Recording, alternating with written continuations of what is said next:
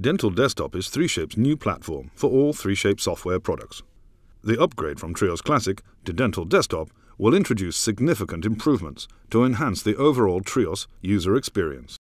Dental Desktop will enable a number of new features like Trios Patient Monitoring, Patient-Specific Motion,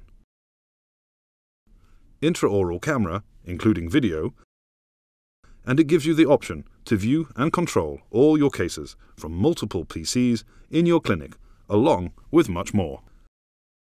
Dental Desktop introduces a new intuitive redesigned user interface and has at the same time maintained the easy step-by-step workflow. In addition, Dental Desktop makes it possible to have multiple 3Shape software applications on the same platform, just like apps on a mobile phone. This means you will have the same user interface across all 3Shape software products. The Dental Desktop user interface is significantly different than the Trios Classic software. Consequently, it is strongly advised to set aside sufficient time to get familiarized with the new interface. Let us take a look at some of the changes. The main navigation buttons are placed in the top left corner. Patients, Cases, Calendar, and more. On the Patients page, you will find detailed information on each of your patients, including a list of the previous cases. On the Cases page, you will find an overview of all your created cases. You can customize the information you would like to see here. On the Calendar page, you will find the calendar. Here you can see an overview of your existing cases, and you can also create new cases. The More button will give you access to the Settings pages, which contain a number of detailed settings like user accounts, scan settings, and lab connections. Now let us take a quick look at the workflow to complete a case for a crown in Dental Desktop. Starting on the patient's page, type in part of the name in the search field and select the patient. Then create a new case by selecting New Case. Select your desired laboratory from the list of all your connected labs. Now the order form will appear. First, select the tooth that needs to be restored.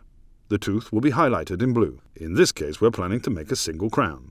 Click on the Anatomy button to select Crown in the drop-down list. Then select Material in the Material drop-down list, and select the Shade in the Shade drop-down list, if required. Finally, set the delivery date by clicking the Delivery Date button.